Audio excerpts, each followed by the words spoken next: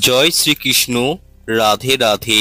সুপ্রিয় বন্ধুরা, আজ চোদ্দই সেপ্টেম্বর, উনত্রিশে ভাদ্র শনিবার পালিত হবে পার্শ্ব একাদশী এবং এই একাদশী আজ রাত আটটা একচল্লিশ মিনিট পর্যন্ত বিদ্যমান থাকবে এবং যারা একাদশী ব্রতটি পালন করবেন, তাদের পালনের সময় হচ্ছে পনেরোই সেপ্টেম্বর রবিবার সকাল ছটা, সতেরো মিনিট থেকে সকাল আটটা, তেতাল্লিশ মিনিট পর্যন্ত। সুতরাং এই ভাদ্র মাসের সর্বশেষ পার্শ্ব একাদশী চলাকালীন সামান্য এই খাবারটি কিন্তু আপনারা গ্রহণ করবেন না। নতুবা সারা বছর রোগে ভুগবেন, অর্থনৈতিক সমস্যায় পড়বেন এবং কি পরমেশ্বর ভগবান নারায়ণের কৃপা দৃষ্টি থেকে বঞ্চিত হবেন। এছাড়াও এই একাদশী চলাকালীন এমন একটি বিশেষ খাবার রয়েছে, সেটি পারলে প্রত্যেকেই একটি কোনা হলেও গ্রহণ করবেন। এর ফলে অপার সৌভাগ্য, সুখ, শান্তি, শ্রীবৃদ্ধি, অর্থনৈতিক উন্নতি তো হবেই, সাথে শরীর স্বাস্থ্য ভালো থাকবে। শুধু তাই নয়, আজকের দিনে বিশেষ একটি এমন টোটকার কথা আপনাদেরকে জানিয়ে দেব আমি। যেটি করলে জীবন থেকে সমস্ত দুর্ভাগ্যের নাশ হবেই। সুতরাং এই বিষয়ে বিস্তারিত জানতে অবশ্যই ভিডিওটি পুরো দেখবেন এবং ভিডিওটি দেখে ভালো লাগলে কমেন্টে একটি বার হলেও মন থেকে একনিষ্ঠ ভক্তি ভরে জয় শ্রীকৃষ্ণ, রাধে রাধে লিখে জানাবেন এবং ভিডিওটিতে একটি লাইক দিবেন তথা এরকমই পরবর্তী ভিডিও পেতে চ্যানেলটি সাবস্ক্রাইব করে পাশে থাকা বেল আইকনটি অন করে রাখবেন। প্রথমত জেনে রাখুন, এই একাদশী চলাকালীন কোনো প্রকারের ঘোর কর্ম কিন্তু এই দিন করবেন না। যেমন চুল, দাড়ি, নখ, কাটা, এই কাজগুলো থেকে বিরত থাকবেন এবং কি শরীরে অর্থাৎ গায়ে, হাত পায়ে ও মাথায় পর্যন্ত সরিষার তেল কিন্তু মাখবেন না। এছাড়াও একাদশী চলাকালীন তুলসী পত্র চয়ন করতে নেই। তবে বছরের তিনশো পঁয়ষট্টি দিনই তুলসী গাছে কিন্তু জল সিঞ্চন করা যায়।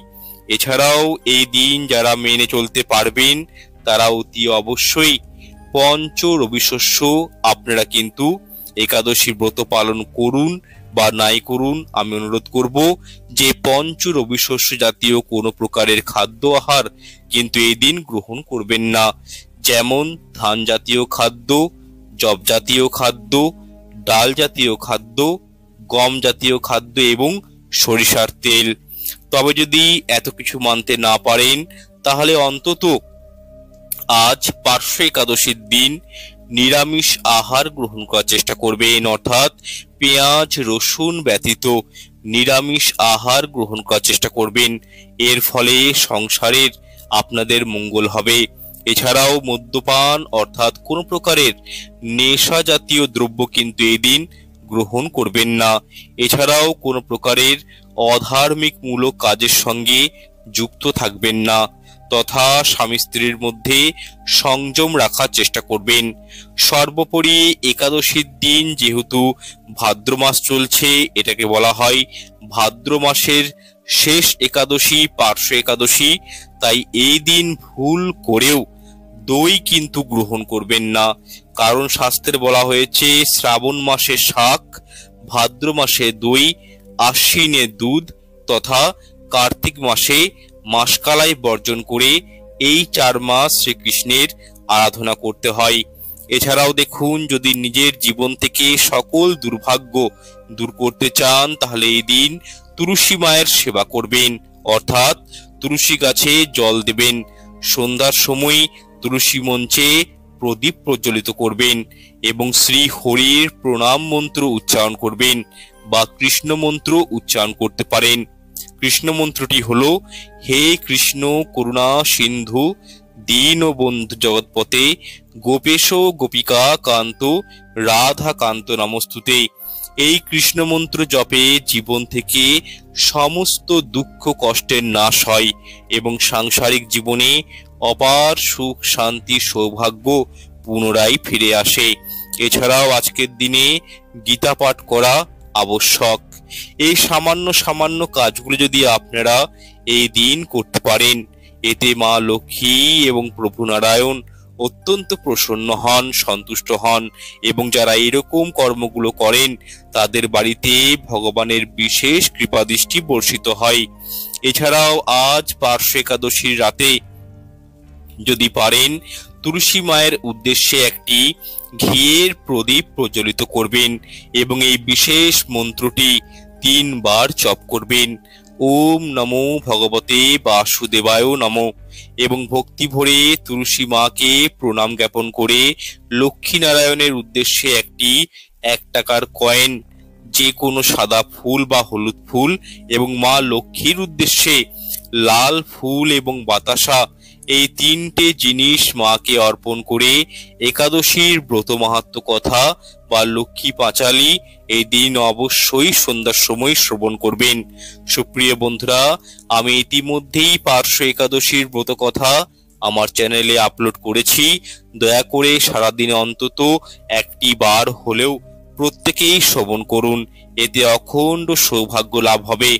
এছাড়াও আপনারা যে একটি এক টাকার কয়েন শ্রী হরি ও মা লক্ষ্মীকে নিবেদন করেছেন, সেটি পুজো শেষ হয়ে যাওয়ার পর ওই এক টাকার কয়েনটি নিজের বালিশের তলায় রেখে দিবেন এবং পরের দিন ঘুম থেকে উঠে আপনারা স্নান করে এই ভগবানের পূজা অর্চনা করার পর সেই এক টাকার কয়েনটি আপনারা আপনাদের মানি ব্যাগ বা মহিলাদের পার্শ্বে বা কোনো সিন্দুক বা ব্যবসার জায়গাতে বা আলমারি বা টাকা পয়সা যেখানে রাখেন, এরকম কোনো একটি গুপ্ত স্থানে ওই এক টাকার কয়েনটি রেখে দেবেন।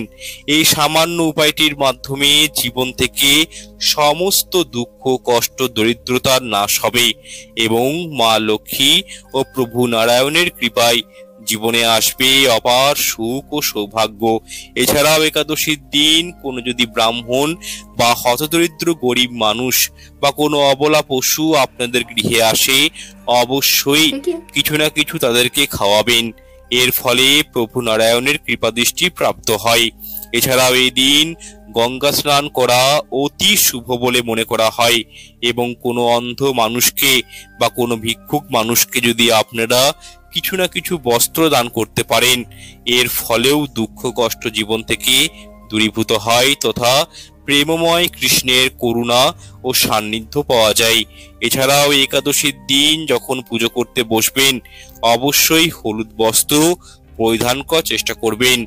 এর ফলেও সৌভাগ্য বৃদ্ধি হয়। যাই হোক, আজকের এই অনুষ্ঠানটি আমি এখানে শেষ করলাম। ঈশ্বরের কৃপায় সবাই ভালো থাকুন, সুস্থ থাকুন। এটাই কামনা প্রার্থনা করি আপনাদের প্রত্যেকের উদ্দেশ্যে। হরে কৃষ্ণ, হরে নিতাই। নমস্কার, ধন্যবাদ।